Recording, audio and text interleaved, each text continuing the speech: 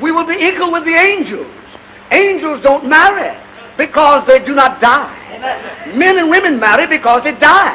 And therefore they must multiply by procreation. Angels are spiritual beings and they can't die.